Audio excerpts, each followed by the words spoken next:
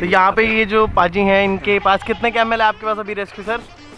वहाँ पे है जैसलमेर में करीब फोर्टी टू के आस फोर्टी टू के आस कैमल वो भी रेस्क्यूड।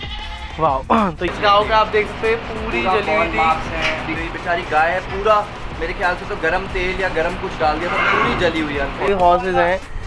जो मैं अगर फार्म से लेने जाऊँ ना तो मुझे कई लाखों रुपए उनके लिए स्पेंड करने पड़ते हैं। और ये सभी के सभी यहाँ पर जो है रेस्क्यूड है। ओके गाइस तो अभी हम फ़िलहाल जो है आ चुके हैं हॉर्सेस के सेक्शन में। तो यहाँ पर एटलीस्ट एटलीस्ट जो मुझे लग रहा है सात आठ सौ हॉर्सेस तो होंगे है ना? इजीली भाई। अब मैं गिन पा रहा हूँ आँखों के आगे कुछ हॉर्सेस तो मतलब ये इतना आधा सेक्शन मिला के ही सेवेंटी एटी हॉर्सेस दिख रहे हैं। तो मेरे हिसाब से इतने ज़्यादा हॉर्सेस संभालना बहुत मुश्किल लग रहा है क्योंकि देखो घोड़े के लिए ना सबसे बड़ी मेन चीज़ होती है एक तो खुला स्पेस तो जितना आप देख सकते हो ये सभी के सभी सारा स्पेस इन्हीं के लिए है। अभी फ़िलहाल गर्मी है तो उनको अंदर करके सभी के लिए एक एक प्राइवेट हर सेक्शन का एक एक से दो प्राइवेट कूलर्स हैं जिनकी वजह से एक टेम्परेचर मेंटेन करने में बहुत आसानी होती है। जैसे मैं अभी आपको दिखाता हूँ। तो यहाँ पर अभी आपको देखो एक एक कूलर इस तरफ़ है इस सेक्शन की तरफ़ एक कूलर इस सेक्शन की तरफ़ है। अंदर आपको गायें हॉर्सेस दिख जाएँगे बाद एक पूरा सेक्शन जो हॉर्सेस का है वो इंडोर जो है वो यहाँ पर बना है। और काफ़ी सारे यहाँ पे घोड़े हैं इंजर्ड हैं डैमेज से उनको ट्रॉमा है। कुछ घोड़े आप देखेंगे उनकी टांग टूटी हुई बेचारी गाय है पूरा मेरे ख्याल से तो गरम तेल या गरम कुछ डाल दिया था पूरी जली हुई है इस गाँव का आप देख सकते हैं पूरी जली हुई थी। हैं पट्टी डाली हुई है पूरा कपड़ा डाला हुआ है क्योंकि स्किन अभी भी इसकी खुली हुई है। तो इतने एक्सट्रीम डैमेज केसेस यहाँ पे आते हैं जो कि बुरी तरह हालत हो चुकी होती है जानवरों की। फिर यहाँ फ्रेंडिकोस को उसको फ़ोन आता है वो एंबुलेंस लेके जाते हैं। और ये पूरी इनकी टीम है जो बेचारे उनको उठा के यहाँ पे फिर हमेशा रखते हैं, उनका ध्यान रखते हैं, उनको सर्वाइव करने की कोशिश करते हैं। तो गाइज़ अभी फ़िलहाल मैं आपको एक हॉर्स दिखाता हूँ, यहाँ पर अंदर आप देख सकते हो।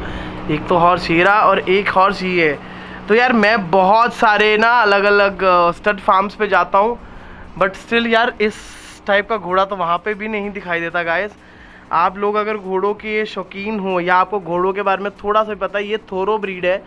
और इसका पूरा बॉडी स्ट्रक्चर देखो इस इ- ये बहुत यंग लग रहा है ना अभी ज़्यादा। अभी यहाँ बहुत सारे मैं आपको घोड़े दिखाऊँगा जो आपको लगेगा कि वो इनको line and proper. Premium stud and thoroughbred horses होंगे एंड मतलब यहाँ पे होमलेस हैं बेचारे अबैंडन हैं एंड को रेस्क्यू तो आप सोचेंगे कि इतने अच्छे घोड़े भी कोई कैसे छोड़ सकता है? ये सभी के सभी कोई ना कोई किसी ना किसी स्टड फार्म से भी आया होगा है ना? कोई ना कोई तो मैं आपको थोड़ी बैकग्राउंड स्टोरीज अब दूँगा। यहाँ पर हम इस सेक्शन में आए तो इस सेक्शन में थैरो ब्रीड के ऐसे स्टड्स ऐसे अलग अलग मेल फीमेल हॉर्सेज हैं जो मैं अगर फार्म से लेने जाऊँ ना तो मुझे कई लाखों रुपए उनके लिए स्पेंड करने पड़ सकते हैं। और ये सभी के सभी यहाँ पर जो है रेस्क्यूड है यहाँ पर शेल्टर है अबेंडेंड है। जी तो इनकी लिटिल स्टोरी मैं आपको बताना चाहूँगा कि ये वाला जो हमारा सेक्शन है ये अलीगढ़ में एक स्टड फार्म था और उसकी बैक स्टोरी ये है कि एक शौकीन आदमी थे जिनके पास बहुत मतलब कम से कम समझ लीजिए पचास से साठ घोड़े थे हम्म। और फिर एकदम से उन्होंने अपना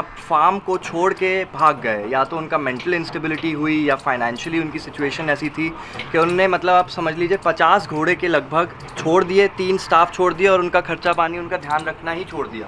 फिर फ्रेंडिकोस की टीम गई। जब तक उन्होंने सर्वाइव कर पाई 41 घोड़े रेस्क्यू हो पाए। बाकी कुछ बेचारे छः सात की डेथ हो गई थी। बट आप इनकी क्वालिटी देखिए कि जिनका शौक था वो इतना हाई तक ले गए हॉर्स में कि टॉप लाइन के हॉर्सेज लिए और एक दिन में पूरा फार्म और सब कुछ छोड़ के आदमी भाग गया। तो ये बहुत तकलीफ़ वाली बात है गाइस बिकॉज़ इंसान का कुछ नहीं जाएगा इन जानवरों के लिए कोई नहीं है। अगर ये सपोज़ फेंडिकोज की टीम वहाँ ना पहुँची तो ये भूखे होने की वजह से मर भी सकते थे है ना? ओके गाय तो ये अभी हम जो है हॉर्सेस के एक और सेक्शन में है तो यहाँ पर कौन से हॉर्सेज है यार? यहाँ पे गाइस रिटायर्ड पुलिस हॉर्सेज हैं। सो इंडियन पुलिस फोर्सेज में जितने भी हॉर्सेज यूज़ हुए हैं मल्टीपल सर्विसेज़ में उनके कामों के लिए तो वो जब रिटायर हो जाते हैं तो हम उनको ह्यूमेनली यहाँ पे ले आते हैं। अब ये इनका फॉर एवर होम है इनका रिटायरमेंट सेंटर समझ लीजिए। तो इन्होंने. इंडिया के लिए बहुत टाइम सर्विस करी है। ये वाला सेक्शन और राइट वाला जो है हॉर्सेज हैं। तो यहाँ पे मैं एक चीज़ देख सकता हूँ पुलिस हॉर्सेस ना जैसे अभी हमने स्टड फार्म के हॉर्सेस देखे उससे थोड़े कॉम्पैक्ट हैं यहाँ जी उनका साइजिंग और उनका पूरा अनाटमी आप देखेंगे तो बैक थोड़ी स्लोप्ड लेग्स थोड़े शॉर्ट बिकॉज़ उनको वर्केबिलिटी फंक्शनैलिटी चाहिए होती है। हम्म। एक दो स्टड्स हैं आप बीच में देखें तो एक दो हैं। हाँ, बहुत ऊँचे ऊँचे, yes, And yes, ऐसे होते हैं राइडिंग वाले एंड फंक्शनल हो जिनकी easy to maintain and stamina भी उनका काफ़ी ज़्यादा रहा है क्योंकि ये काम Point. रेगुलरली काम करते हैं वज़न भी उठाते हैं। और ये पुलिस ट्रेनिंग के टाइम तो इनको वैसे ही डबल ट्रेनिंग की जाती होगी है ना अलग से। से गन शॉट से हर चीज़ से स्टेबल करना पड़ता है। ओके गाइस तो यहाँ पर जैसे मैं आपको लास्ट में अभी दिखा रहा था तो यहाँ पर वो हॉर्सेज हैं जिनको दिखाई नहीं देता या जिनकी एक एक आग खराब है या जो बहुत ज़्यादा जिनकी स्पेशल नीड्स है। इन दोनों को गैस दिखाई नहीं देता।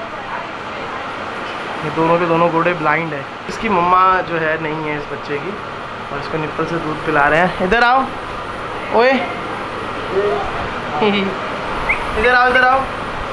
ये कौन सी ब्रीड का है? ये पोनी पोनी है ये इंडियन पोनी। ओए आजा इंडियन पोनी। वो घास खा रहा है। तो आप एक चीज़ देख रहे हो नोटिस करने वाली बात है कि हर एक चीज़ कितनी well maintained and well planned है। ओके गाइस यहाँ पर जो है इनका काओ सेक्शन है काओ और बुल सेक्शन है। काओ कितने होंगे आपके हिसाब से यार यहाँ पे? Cows और बुल्स भी easily hundreds मतलब यहाँ पे।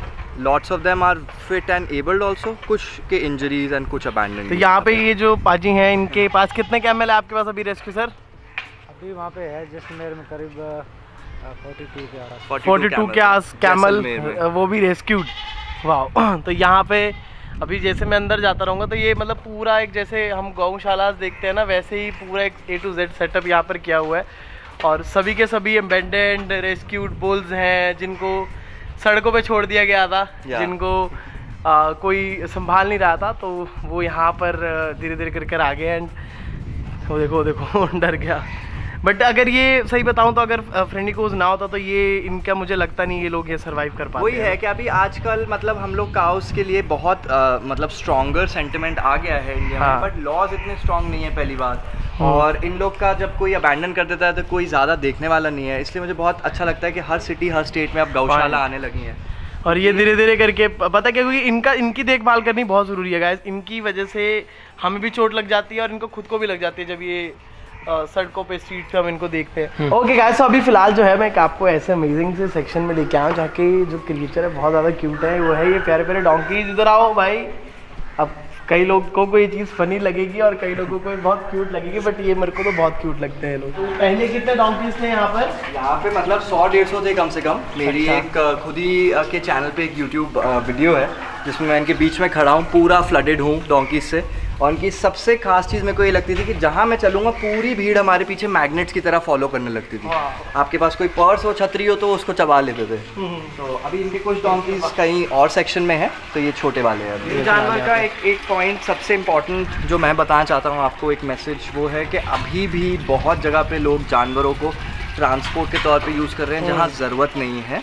पहाड़ी पे इंसानों को बिठा के ले जाना गधों की पीठ पे ईंट ले जाना घोड़े की पीठ पे या हाथी की पीठ पे कभी वेडिंग में यूज़ करना तो ये मेरी तरफ़ से एक छोटी सी अपील रहेगी कि शादी में अगर आप घोड़े की जगह एक अच्छी सी एक रोल्स रॉयस में आ जाइए हाँ और गधे के पीठ पे रखने की जगह आप इंसान ही हायर करिए दस इंसान अपनी पीठ पे लेके जाएँ इनसे इनको अननेसेसरीली ऐसा टॉर्चर करना काफ़ी हर्ट लगता है हमको मतलब। इतने तो यार क्यूट होते हैं। Okay guys so with that करते हैं हम आज के ब्लॉग का एंड आई होप आपको ये ब्लॉग अच्छा लगा। अगर आपको ब्लॉग अच्छा लगे सो आपको सबसे पहले तो जो है फ्रेंडिको की जो सोशल मीडिया है उसको सबको जो है आपको फॉलो कर लेना है।